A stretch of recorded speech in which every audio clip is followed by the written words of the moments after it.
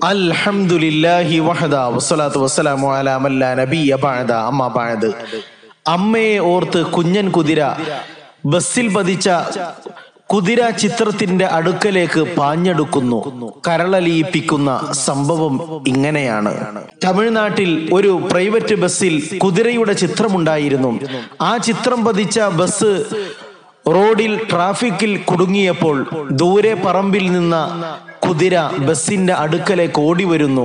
ശേഷം ആ ചിത്രത്തിന്റെ അരികിൽ ചേർന്ന് നിൽക്കുന്നു. ആ ചിത്രത്തോടൊപ്പം സഞ്ചരിക്കാൻ വേണ്ടി പരിശ്രമിക്കുന്നു. ബസ്സിൽ പതിപ്പിച്ച ചിത്രം തന്റെ അമ്മയാണെന്നുള്ള തോന്നലായിരിക്കും ആ കുഞ്ഞൻ കുതിരയെ ഇതിന് പ്രേരിപ്പിച്ചത്.